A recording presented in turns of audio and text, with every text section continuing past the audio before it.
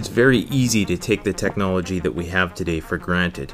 For example, people take for granted the sheer power that they wield when they hold a modern LED flashlight. And in the case of an emergency, illumination is going to be a very crucial component of any preparedness plan. Today we're going to do a comparison video between the first flashlight ever invented and the most modern and currently powerful one available on the market in order to demonstrate just how far this technology has come.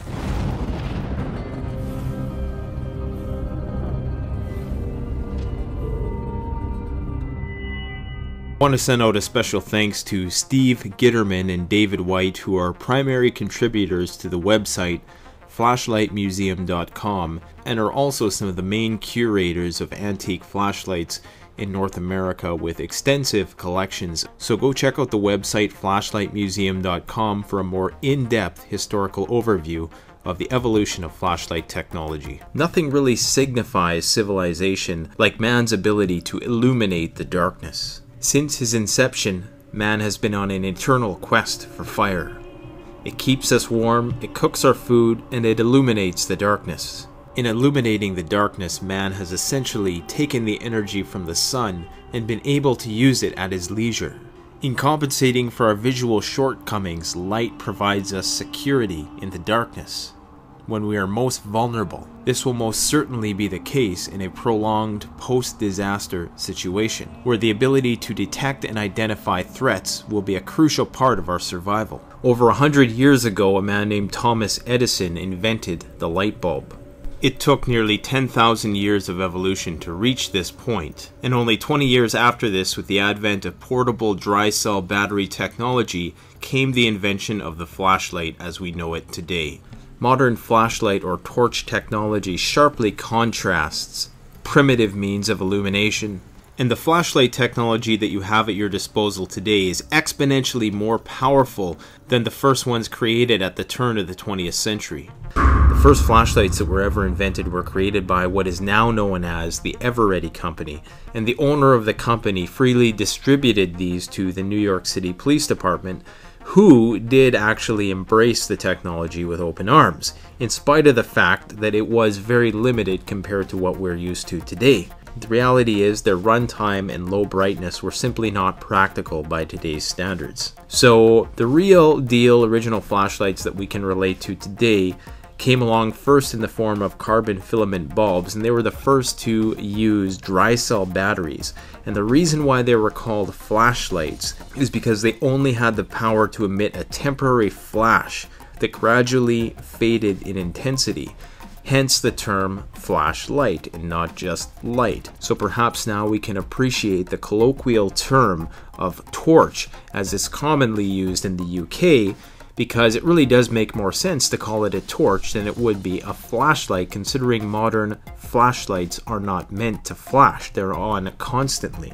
Now, each flashlight battery pack could produce a certain amount of flashes before it was exhausted. And the way that they marketed at the time was by how many flashes you would get out of a certain battery pack. Now these flashlights ran on what we commonly know today as D-cell batteries and they usually ran on two or three of them.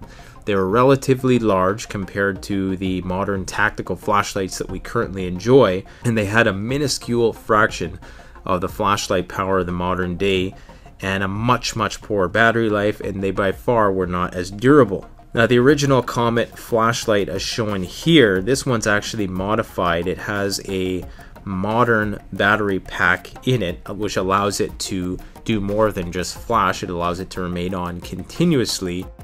Modern flashlights exceed the capabilities of the original flashlight by leaps and bounds. Nowadays, the most common light source is LEDs or light emitting diodes.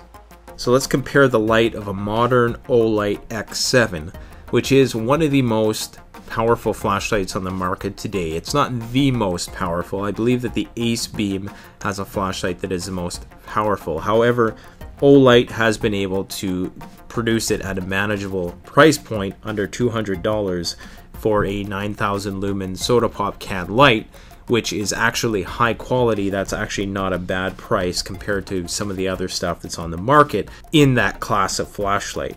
Now it uses four high discharging lithium ion 18650 batteries which sends out a disgusting 9000 lumens. Olight also has some flashlights coming on the market in the next few months which are going to tip the scales of 12,000 plus lumens, which is just unreal. Now, of course, this 9000 lumens can only be sustained for about two and a half minutes. But let's do the math to see how more powerful the modern Olight X7 is compared to the original Comet flashlight. Now, let's just assume that the Comet flashlight was about 3 lumens, which is pretty generous estimate considering of the capabilities of the time.